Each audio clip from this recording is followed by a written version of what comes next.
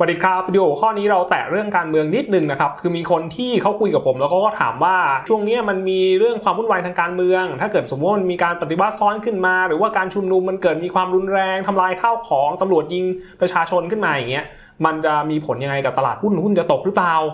โดยส่วนตัวแล้วเนี่ยสำหรับผมก็คือไม่ได้มีความจำเป็นต้องกังวล เพราะว่าที่ผ่านมาในอดีตเนี่ยผมเคย นั่งดูตลาดหุ้นในช่วงที่มันแบบมี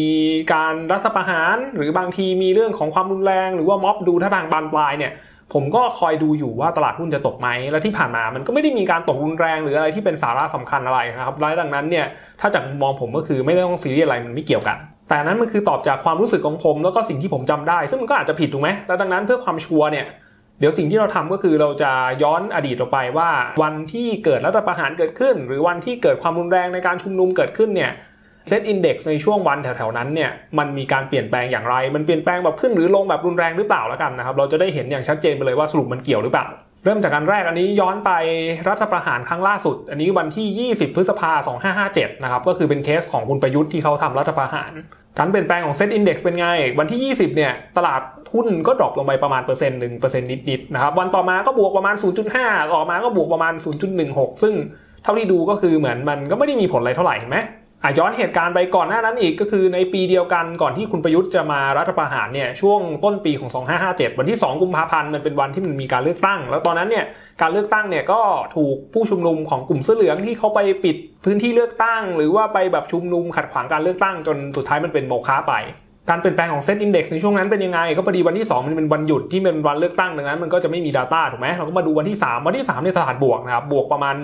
1.4%วันต่อมาวันที่ 4 ดัชนีก็ติดลบไป 1.2%โดยประมาณแล้ววันถัดมาวันที่ 5 ก็บวกนิดๆหน่อยๆนะครับดังนั้นโดยภาพรวมก็มีขึ้นมีลงมีอะไรก็คือดูไม่ได้มีสาระสำคัญจากเหตุการณ์นี้เท่าไหร่ โอเค เหตุการณ์ต่อมาย้อนถอยไปอีกก่อนที่จะมีการเลือกตั้งที่เป็นโมฆะไป ก็คือมีเหตุการณ์ที่รัฐบาลของคุณยิ่งรักเนี่ยเขายุบสภา วันนั้นก็จะเป็นวันที่ 9 ธันวาคม 2556 เซตอินดี x เป็นไง วันที่ 9 วันที่ประกาศเลยเนี่ยตลาดบวก 0.4 นะครับ แล้ววันต่อมาวันที่ 10 ก็เป็นวันหยุดวันรัฐธรรมนูญถูกไหมแล้ววันต่อมาวันที่ 11 ปุ๊บก็บวกอีกนิดๆหน่อยๆนะครับและดังนั้นเนี่ยโดยภาพรวมก็คือมันก็เหมือนวันธรรมดา แต่นี้มันก็อาจจะเป็นเหตุการณ์ที่ยังไม่ได้มีความรุนแรงถูกไหมเราก็ย้อนกลับไปไกลไปอีกหน่อยนึงนะครับ ช่วงที่มันมีความรุนแรงก็คือตอนนั้นที่ม็อบเสื้อแดงแล้วก็มีการสลายการชุมนุมตรงหน้าเซ็นทรัลเวิลด์นะครับ ซึ่งวันที่เนี่ยมันไม่ชัดเจนมันเป็นช่วงตั้งแต่7ถึง 19 พฤษภาคม 2553ช่วงนั้นที่มีการเผาในสถานที่ต่างๆ อย่างเซ็นทรัลเวิลด์ก็จำได้ว่าโดนเผาไปด้วยนะครับ โอเค เวลาที่เราดู index เนี่ย เนื่องจากมันหลายวันจัด ผมก็ดู ช่วงต้นๆที่เกิดเรื่องก็คือ 7-9 เฉลี่ย index อยู่ประมาณไหนเทียบกับ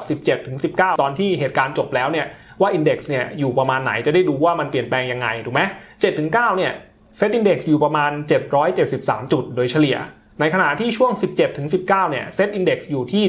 759 จุด ดังนั้นตั้งแต่มีเหตุการณ์ความรุนแรงตอนแรกถึงตอนสุดท้ายระยะเวลาเนี่ยประมาณเกือบ 2 สัปดาห์เนี่ยตลาดหุ้น SET Index เนี่ย drop ไปทั้งหมดแค่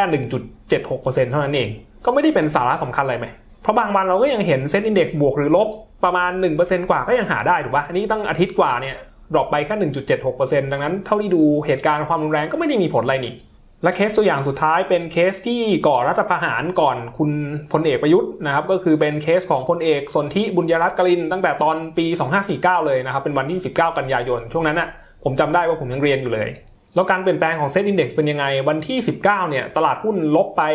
0.47%นะครับ วันต่อมาวันที่ 20 เนี่ย ไม่มี Data เข้าใจว่าเป็นวันหยุดอาจจะสั่งหยุดหรือสักอย่างหนึ่งนะครับ แล้ววันที่ 21 เนี่ย ตลาดหุ้นก็ drop ไปลบ 1.4%โดยประมาณนะครับดังนั้นโดยภาพรวมแล้วเนี่ย โอเค มันอาจจะเห็นว่ามันดู drop ต่อเนื่องนะ แต่ถ้าเกิดไม่ได้บอกว่ามันมีเหตุการณ์รัฐประหารเกิดขึ้นเนี่ย มันก็อาจจะเป็นวันธรรมดาก็ได้นึกออกไหม และดังนั้นโดยสรุปก็คือจะเห็นว่าไอเหตุการณ์ทางการเมือง หรือความรุนแรงหรืออะไรที่เกิดขึ้นเนี่ยมันไม่ได้ส่งผลทำให้คนตกใจ ตลาดหุ้นไม่ได้ตกอย่างมีนัยสำคัญ หรือขึ้นอย่างมีนัยสำคัญ ดังนั้นก็ไม่ได้ต้องกังวลอะไร คือผมไม่ได้หมายความว่าไม่ต้องกังวลเรื่องการเมืองนะครับ แต่เพียงแต่ผมบอกว่าไม่ต้องกังวลว่าการเมืองจะทำให้ตลาดหุ้นมันขึ้นหรือลง อย่างน้อยๆ ก็ในระยะสั้น โอเคปะในระยะยาวว่า เอ้ย ใครเป็นนายก จะเศรษฐกิจดีไม่ดี อันเนี้ยมันคงมีผลแหละ แต่ในเมื่อเราไม่มีทางรู้ถูกไหมว่าใครจะเป็นนายกหรือมันจะเกิดอะไรขึ้น แล้วคนนี้หรือคนนั้นขึ้นมาเป็นผู้นำแล้วมันจะดีหรือไม่ดีมันบอกไม่ได้ ดังนั้นก็ไม่ต้องกังวลกับมันอยู่ดีนะครับวิดีโอนี้จบลงเพียงเท่านี้ ถ้ารู้สึกว่าเนื้อหามันเกิดประโยชน์สำหรับคุณก็ฝากกดไลค์แล้วก็แบ่งปันแชร์มันต่อไปด้วยให้มันไปเกิดประโยชน์กับคนอื่นนะครับ นอกเหนือจากนั้นถ้าเกิดต้องการที่จะดูวิดีโอย้อนหลังของเรา หรือติดตามวิดีโอใหม่ๆของเราก็ทำได้บน Facebook กับ YouTube Smart Stock Investment แล้วสำหรับคนที่ตั้งใจจะลงทุนด้วยตัวเองจริงจังและกำลังศึกษาหาความรู้อยู่ ผมขออนุญาตโปรโมทนิดนึงตอนนี้เรามีหลักสูตรที่เราสร้างขึ้นมา เพื่อสร้างให้คนที่เรียนเนี่ยลงทุนชนะตลาดโดยใช้วิธีแบบเดียวกับที่เราทำคุณจะได้ไม่ต้องเสี่ยงเสียเงินเสียเวลางมหาวิธีการลองผิดลองถูกด้วยตัวเอง แล้วเรามีให้ทดลองเรียนฟรีด้วยรายละเอียดเนี่ยจะอยู่บนเว็บ ซึ่งเราทิ้งลิงก์ไว้ให้ข้างล่าง แล้วเจอกันใหม่วิดีโอหน้าสวัสดีครับ